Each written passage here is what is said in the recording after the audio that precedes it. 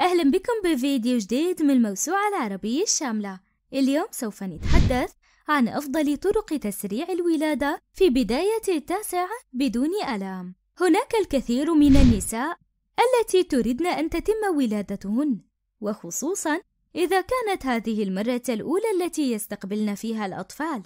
لذلك يلجؤون إلى الطرق المتعارف عليها والتي عادة ما تكون شعبية وليست امورا طبية معترفا بها. لذلك نفضل أن تتركي وقت الولادة يأتي عندما يريد الله طالما صحتك وطفلك بأمان تام.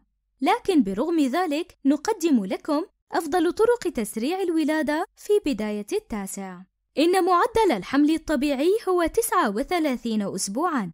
لابد أن ينتهوا على دخولك غرفة العمليات للولادة. لكن إذا أكملت أسبوعك الأربعين ولم تحدث الولادة وحتى إن أكملت عليهما أسبوعين إضافيين هذا أمر طبيعي ولا بأس في ذلك لكن إذا كنت لا تشعرين بالراحة عليك أن تقومي بهذه الأمور البسيطة التي ستساعد على تسريع ولادتك.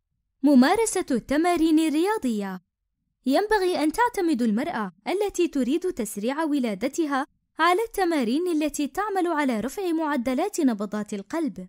بجانب التمارين التي تعمل على تغير وضع الطفل وتجعله في وضع الولادة.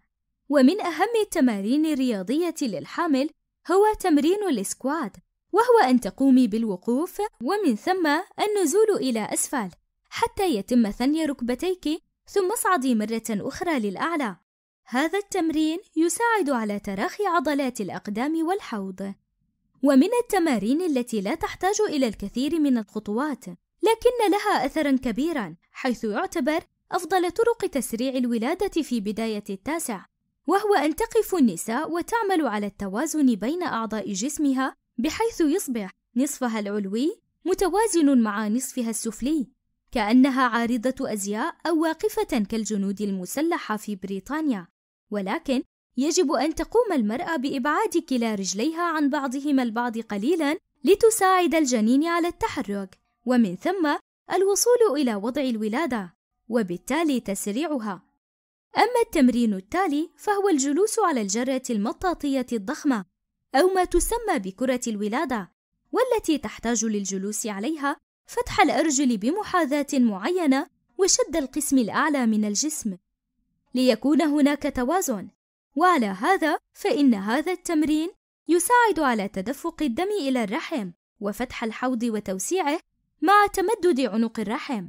وإذا كنت لا تفضلين أيا من هذه التمارين اكتفي بممارسة المشي يوميا لأنه أحد التمارين التي تسرع نبضات القلب. إذا أعجبكم الفيديو لا تنسوا انكم تسوون like و subscribe و share للفيديو. وأيضا تقدروا تتابعونا على ال social media إنستغرام فيسبوك وتويتر